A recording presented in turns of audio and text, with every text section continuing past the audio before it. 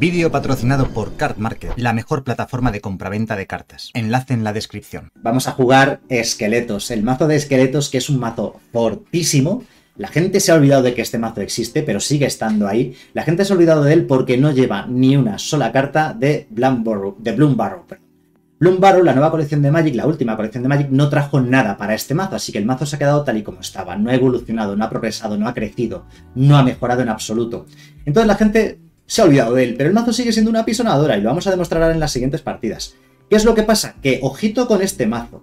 Es un mazo que no lleva muchas raras y míticas, ¿vale? No es un mazo complicado de montar, es casi, casi free to play. Bueno, free to play no, pero es un mazo casi, digamos, accesible para cualquiera. Pero lo importante es que la siguiente colección de Magic, que sale en tres semanas, o sea, eh, la siguiente colección, Dusk Mountain, es de temática de terror, ¿vale? Entonces, aunque no esté del todo seguro, es probable que tenga mucha temática de esqueletos, de zombies y que pueda ayudar bastante este mazo. Para mí la carta estrella del mazo de esqueletos es Cadáveres de los Perdidos. Es un encantamiento que cuesta 3 y que te pone una criatura 3-2 prisa, así por todo el morro. Bueno, no es un 3-2 prisa, ¿vale? Es una criatura 2-2, es un pirata esqueleto 2-2, pero todos tus esqueletos ganan más 1 más 0 y prisa. Así que el propio token que pone este encantamiento gana más 1 más 0 y prisa y por tanto es un 3-2 prisa a todos los efectos, ¿no? Al final del turno, si descendiste este turno, es decir, si algún permanente tuyo fue al cementerio desde cualquier parte, desde el juego o desde tu mano o desde cualquier otro lado, eh, puedes pagar una vida. Si lo haces, te devuelves cadáveres de los perdidos a la mano y puedes volver a rejugarlos, ¿vale? Poniendo otra vez el token, etcétera, etcétera, ¿vale? Así que no te importa perder permanentes para subirte los cadáveres eh, de los perdidos a la mano y poder rejugarlos. Luego tiene otros esqueletos tan buenos como Huesitos, el carterista. Si hace daño de combate a un jugador, puedes jugar de su cementerio un permanente que controle que no sea tierra, o sea, fiesta de la espuma, ¿vale? La idea es romper sus permanentes o descartárselos o lo que sea, y luego jugarlos tú con, huesitos al hacerle daño. Puedes jugar el mana de cualquier color, ¿vale? O sea, si él ha tirado una carta verde-roja, no te preocupes que puedes jugarla gracias a la habilidad de huesitos. Y por uno, es un 1-1 toque mortal, o sea, encima es molesto el pequeñín. Tenemos también de coste 1, minero abandonado, por un mana un 2-2, o sea, potente, entra, o sea, el decir, no entra girado, perdón. No puede bloquear, es que muchos esqueletos y zombies entran girados, no, no, este no puede bloquear, entra enderezado, pero no puede bloquear. Y siempre que cometas un crimen, cometes un crimen siempre que haces objetivo al rival o a cualquier cosa del rival, criaturas permanentes, mano, cementerio, lo que sea, puedes pagar un mana negro y si lo haces lo devuelvas del cementerio al juego. O sea, encima es recursivo, vuelve desde el cementerio siempre que cometas crímenes. Y luego tenemos recluta sectario, que es tipo león de la sabana, por uno, criatura de fuerza 2 y resistencia 1. Entra, este sí entra girado y la gracia es que puedes pagar 2 y devolverlo del cementerio al juego eh, habilidad que solamente puedes activar si un esqueleto, perdón, si una criatura que no fuese esqueleto murió bajo tu control este turno. Bueno, la cuestión es que, como podéis ver, combinado con cadáveres de los perdidos, todas tus criaturas se vuelven tremendamente más peligrosas, porque todas van a tener más uno, más cero y prisa. Desde huesitos hasta el minero pasando por el recluta sectario. Bien, y por último, el otro esqueleto que tenemos no es un esqueleto propiamente dicho, es el caso del esqueleto escondido, que nos pone un token de esqueleto 2-1 sospechoso. Las criaturas sospechosas no pueden bloquear, pero tienen amenaza, es decir, que no pueden ser bloqueadas excepto por dos o más criaturas, o sea, tienen un cierto tipo de evasión. Bien, eh, el caso se puede resolver. Se va a resolver siempre y cuando no controles esqueletos que sean sospechosos. Así que, si este esqueleto muere, o si perdiese su habilidad de, de sospechoso, el caso se resolvería. Y en ese momento, este caso, al final del turno, se convierte en literalmente un Demonic Tutor. Puedes pagar dos, y buscar una carta cualquiera en tu mazo, cualquiera, y ponértela en tu mano. Vale, para, para culminar, criatura que no es esqueleto, tenemos eh, Gisa, la Alzavernos, que como digo no es esqueleto, pero es brujo humano, que tiene rebatir dos, o sea, pagar dos y pagar dos vidas, tiene el doble rebatir, digamos, y hace que tus esqueletos y zombies tengan más uno, más uno y amenaza, ¿vale? Amenaza, ya sabéis, no puede ser bloqueado excepto por dos más criaturas, pero lo importante es que siempre que cometas un crimen, creas dos tokens 2-2 de eh, zombie, no son esqueletos, son zombies, girados. Solamente ocurre una vez por turno, ya bastaría que encima fuese toda la vez que quisieras por turno. Es una burrada esta carta realmente. Si sobrevive un turno entero, gana la partida ella sola.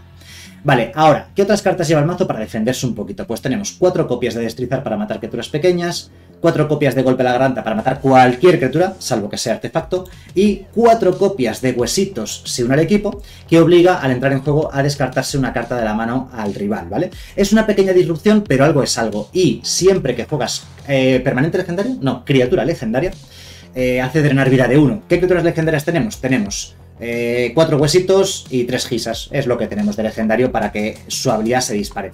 Ella misma es legendaria, pero eh, claro, por tanto no puedes guardar varias copias en mesa y una no hace disparar la otra, ¿vale? Así que, bueno, ¿qué le vamos a hacer? Vale, eh, por último, 22 pantanos y tres copias de frontera con tormenta de arena que hace que podamos quitar bloqueadores del medio. ¿Se podría llevar otra tierra? Bueno, se podría llevar Mirrex, se podría llevar el puerto Fontanal, se llama, ¿no? La tierra que pone tokens también.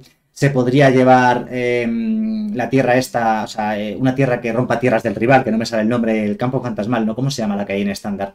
La que hay en estándar, ¿vale? Es que hay varias y no me acuerdo del nombre exacto. Era el campo de destrucción se llama, campo de destrucción o campo de demolición, la que hay en estándar. Pero bueno, eh, esta versión lleva tres eh, fronteras de, con tormenta de arena porque considera que es importante que tus criaturas, bueno, sea más difícil bloquearlas, ¿no? Así que vamos a por las partidas. Vale, pues a pesar de llevar una cantidad bastante alta de costes 1, digamos 4, 8, 12, 16 costes 1, nuestra mano inicial no tiene ningún coste 1 y encima sale el rival. Vamos a hacer mulligan, dan 4 tierras, es un mazo con muchos costes bajos, esta mano está bastante mejor, nos la vamos a quedar. Por cierto, no os lo he mencionado, no, he hecho no lo he recalcado, pero el mazo lleva 25 tierras, ¿de acuerdo? Llevas muchas tierras para llegar a, Gisa, ¿vale? Así que como sale el rival y toda nuestra mano es de coste bajo, me voy a permitir el lujo de quitarme un pantano de la mano. Vale, el rival sale con tierra azul-negra. Nosotros vamos a salir con... Azul-negro, mazo posiblemente Dimir de control o midrange. Voy a salir con el recluta sectario. Vale, es que el huesito. Creo que, creo que vamos a poder hacer daño al principio de la partida, así que intentémoslo con el recluta sectario. A ver si sale bien mi jugada. Segunda tierra azul negra. Ah, vale, pues no. Esta carta hace que posiblemente sea un mazo de cementerio. Algún tipo de mazo de sinergias de cementerio, reanimator o lo que sea. Wow. Aparición tentacular, vale, este mazo últimamente nos lo estamos encontrando bastante, es un mazo de combo, o más bien de sinergia de cementerio, tira cosas al cementerio y luego las reanima con aparición tentacular, ¿no? Esa es un poco la idea. Tira cosas al cementerio hasta tener descender 8 y entonces puede jugar Lamento de los Olvidados eh, sin restricción. ¿Vale? Bueno, nosotros, eh, pues mira, el Huesitos habría sido muy bueno porque podría haber llegado a pescar algún permanente como en la Fundación del Tercer Camino, por ejemplo. Aunque bueno, va a ser difícil que este Huesitos pille de su cementerio un permanente que realmente queramos o podamos jugar. Un Jace, una cerradura bromista, no es mucha cosa. Creo que es mejor salir agresivo y ya veremos, ya veremos qué pasa más adelante. Por cierto, la frontera podría ayudarnos. La frontera podría ayudarnos si, por ejemplo, ahora en el cuarto turno, por ejemplo, o en el quinto turno, eh, él metiese una traxa en mesa. No voy, a, jugar la frontera para que él no sepa que la tenemos. Para que él no sepa... Ojo, pegamos de 9. Siguiente turno letal. Si juega una Traxa ahora, puede llegar a ocurrir que reanime una Traxa. Tiene una Traxa en el cementerio, ¿vale? Hacemos, mira, pues tu Traxa no puede bloquear. Te gano. Puede ser, puede ser que ganemos de esta manera esta partida habiendo salido el oponente y habiendo nosotros hecho un mulligan, podría ser. Vale, porque aquí parece, casi con toda certeza, ¿verdad? ¿Le llega para Traxa? Creo que no. No, porque la aparición tentacular es de 6. Tendría que ser de 7 para poder jugar a Traxa. Así que le falta un permanente en el cementerio. Le falta un permanente en el cementerio por su habilidad de descenso abismal, regresa al campo de permanente objetivo que no se atira en tu cementerio. Por permanente, eso, lo leéis, ¿no? Lo veis. Vale, pero hace lamento de los olvidados, por tanto, este turno no nos gana, no hace Atraxa, mejor dicho, y aunque hubiese hecho Atraxa, aunque le hubiese llegado para hacer Atraxa, con la frontera habríamos impedido el bloqueo igualmente. Con esto juega un hechizo instantáneo conjuro, pero solo de coste 1 o 2 de la mano A para matarnos un bicho, de modo que... Nada, pero tenemos otro. De hecho, tenemos dos bichos. Mira, pues jugamos la tierra por si tenía alguna esperanza de ganar, que este entra girada. Ah, ah, nos quedamos a uno. Nos quedamos a uno porque entra girada, claro. Claro, claro, que entra girada. Nos quedamos a uno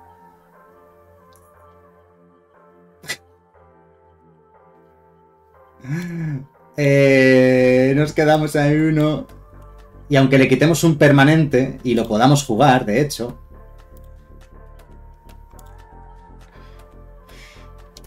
eh, lo podemos jugar, él va a hacer Atraxa y nosotros simplemente, pues, eh, no sé si se ha dado cuenta de que esto hace que no pueda bloquear, ¿no? Bueno, y además, ojo, que tiene todavía, todavía tiene que jugar la carta, ¿eh? Tiene que jugar la aparición. La tenía en mano, vale. Tenía una aparición tentacular en mano. Le queda un maná enderezado.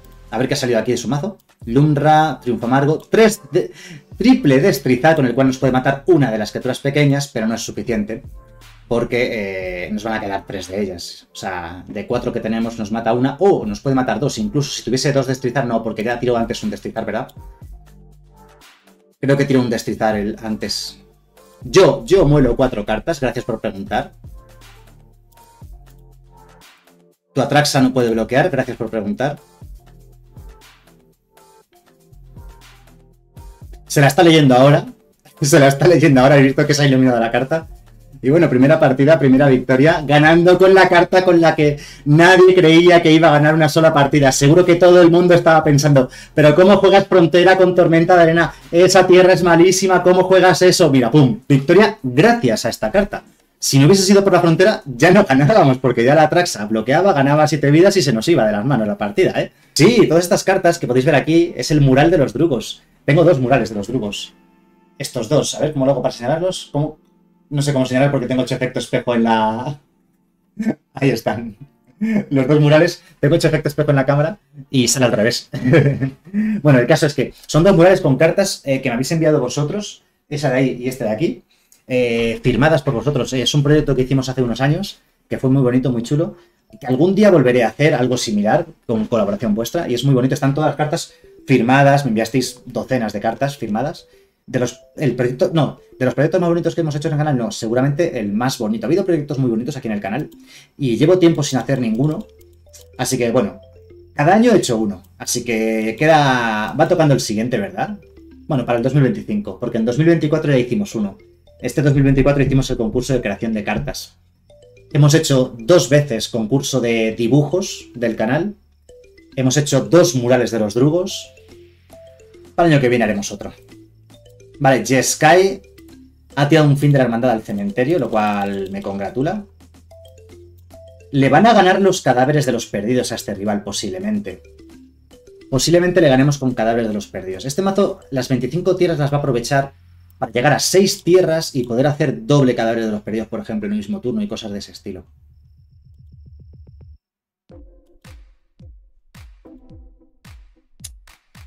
Vale, Jeskai de control, ¿eh? No he querido jugar los cadáveres de los perdidos porque eh, mm, creo que tiene un contrahechizo y no quería que me lo contrarrestase. Así que me lo guardo. Que se tenga que girar en su turno para matar estos bichos. yo, quería, yo pensaba que ahora él iba a tirar una alicia de relámpagos a uno de estos y que me iba a dar vía libre para jugar esto. Le vamos a ganar, como digo, con los cadáveres de los perdidos, así que paciencia, esta carta le gana nos erosiona uno, ¿veis? el rival tiene algo. Tiene algo y cree que yo tengo algo. Porque se ha esperado al final de mi turno para matar una criatura que le estaba atacando. Así que es más que evidente, ¿verdad? Vale, le vamos a gastar el primer counter porque también tengo que estar metiendo presión de alguna manera. No puedo permitir que él juegue tranquilo, eh, sin presión. Tengo que meter presión. Tengo que, además tengo que vaciarme la mano para poder eh, jugar los reclutas sectarios desde el cementerio, ¿vale? Entonces no, me conviene tampoco, no, o sea, quería aguantar un turno para ver cómo se las gastaba el rival y ha tirado un negar. Esto quiere decir probablemente que tiene varios contrahechizos en mano, ¿eh? Tiene varios, posiblemente. Voy a volverme a gastar otro cadáver de los perdidos, a ver qué ocurre. A ver si tiene otro counter. Al final no vamos a ganar con cadáveres de los perdidos porque nos los va a contrarrestar todos. Qué dura es la vida, ¿eh? Vale. A ver si se gira y tira un removal masivo. Y le podemos clavar Gisa. O cadáveres de los perdidos, que también lo estábamos comentando. Aunque Gisa no es tan buena, porque ahora mismo no tenemos nada con lo que hacer objetivo. Es decir, cometer crímenes, quiero decir. Vale, le queda un mana disponible. Bueno, buen robo, buen robo, sí señor no, este sí entra enderezado. Este es el que entra enderezado. Los mezclo siempre. Pegamos de 6. Le quedan 4 viritas. Y todos mis esqueletos tienen prisa. Yo os dije que ganábamos con cadáveres de los perdidos. Quizás He tirado dos de ellos a la basura, ¿verdad? Que he permitido que me los contrarrestase. Vale, explosión. Eh, tenemos que robar un zombie. Esto es al comienzo de tu paso final, ¿vale? Nos mata las dos criaturas, ¿de acuerdo? Entonces no vuelve a la mano. ¿Vale? Tierra y Gisa, que pega de cuatro, o sea, tiene que matarla. ¡Ojo! Que tiene que rebatir dos y pagar dos vidas. O sea que o tira una explosión inoportuna o una caída solar pues se queda con dos vidas nada más. Y vamos a jugar otra. Esto es cuando te queda... Eh, ah, no, es cuando murió una criatura que no fuese esqueleto. Vale, vale. Vale, pone token 1-1 con destreza, pero casi cualquier cosita que robemos que no sea tierra, nos vale. ¡Ay, no está entra girado! Ese entraba girado.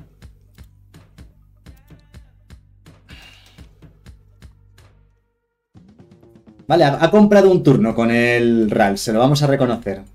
Este entra girado, entra girado. Murió, tiene que morir la criatura, ¿vale? Esto no cuenta. Y pone otro token 1-1. Madre mía, que al final nos remonta, ¿eh? Ya verás.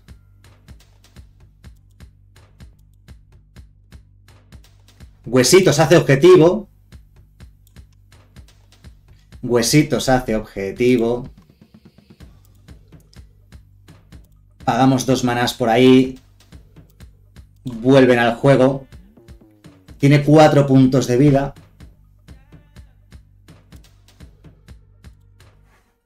Lo dejamos con un punto de vida. Y le queda una carta en mano. ¿Vale? O sea que pinta bastante bien para nosotros. Lo que pasa es que tiene un bloqueador 2-2 y además tiene el RAL. O sea que tiene el RAL para poner otro token. Y ojo que este no es el menos 10, como sigamos así. Y ojo, el robar 3, descartar 2 también es muy bueno. O sea que esto todavía no está ganado. Todavía. Ah, bueno, por cierto, con Gisa se dispara automáticamente el huesitos, ¿vale? Porque es una criatura legendaria y le quitamos la vida que tiene, ¿vale? Al ser una criatura legendaria, si entra en juego, se dispara la vida de huesitos, ¿no? Vale, le quedan dos cartas en mano, tiene, como digo, dos potenciales bloqueadores.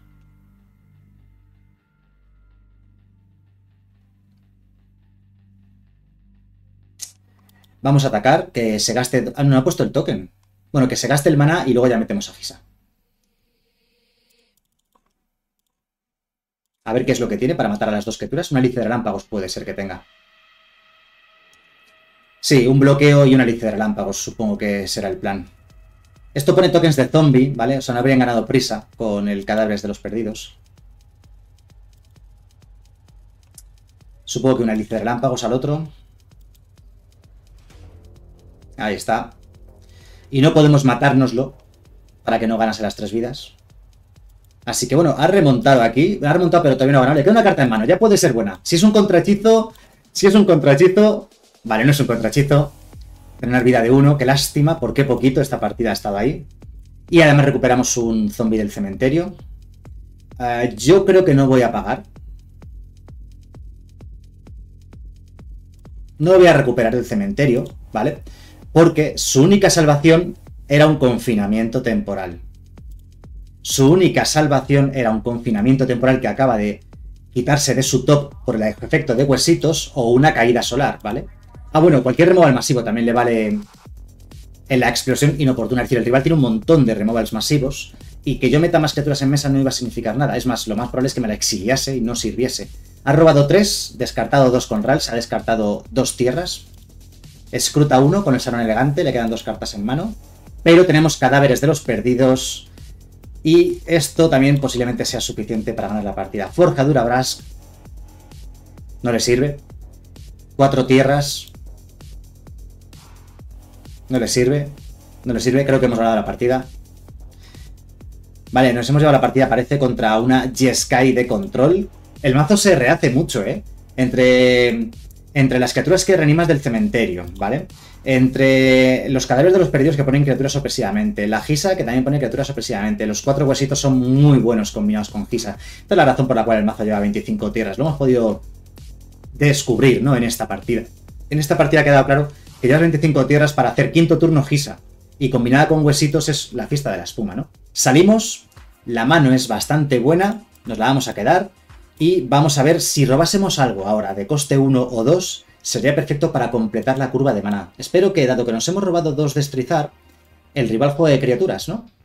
Uy, una hada criadora, ¿vale? No se sube a sí misma. ¡Eh! Hemos robado justo lo que quería. Algo. Algo que poder jugar.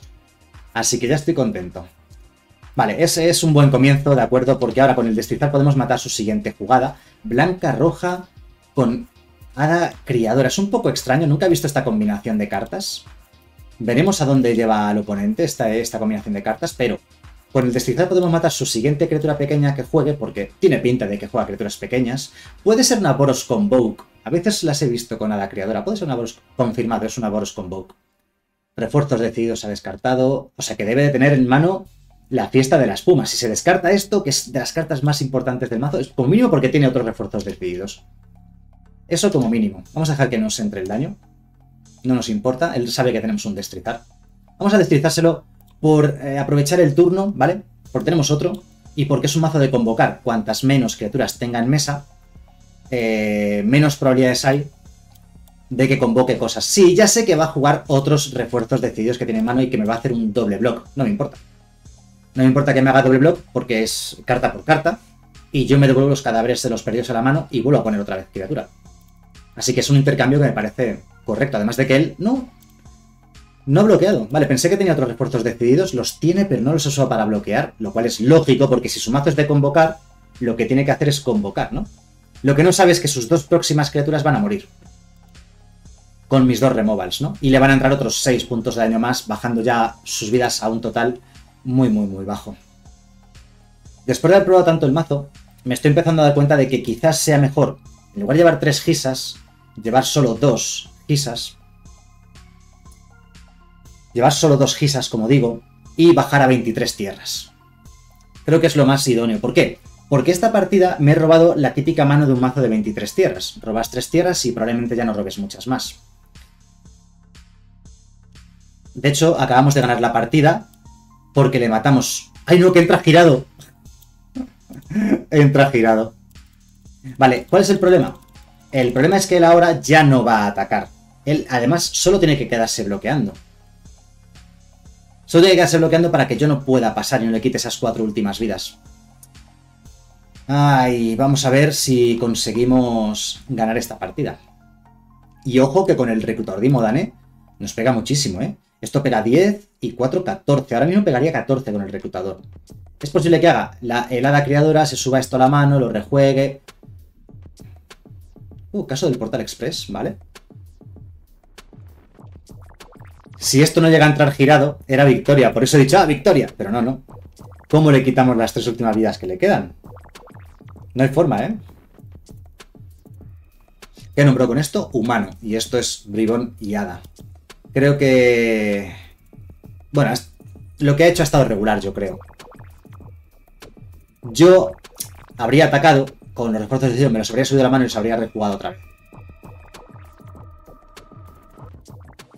Bueno, no hay mucha historia, tenemos que atacar y que él pierda criaturas. Porque si pierde criaturas, eh, nos quedamos más lejos de la derrota, ¿no?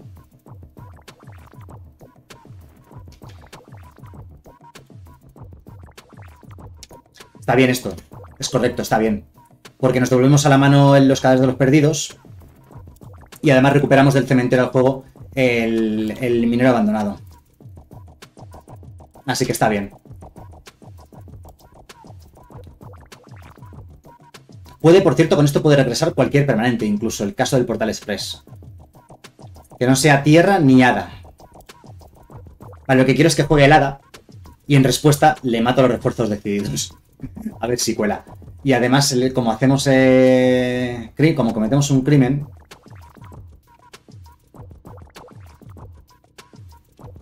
Dice objetivo, ¿verdad? Sí. Le hace objetivo y en respuesta se lo matamos. Vale, de modo que cometemos un crimen. No gana el contador más uno más uno, espero. Efectivamente no lo gana porque ha fallado. Esto no vuelve. Esto, la verdad es que vuelve, esta vuelve muy poquitas veces en este mazo. Vale, qué lástima no tener una tierra más, ¿verdad?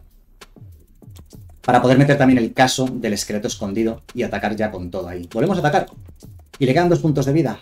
Antes yo me vi ya ganador hace un rato Y no sé cómo hemos remontado, pero hemos remontado por fin una partida que se puso muy complicada.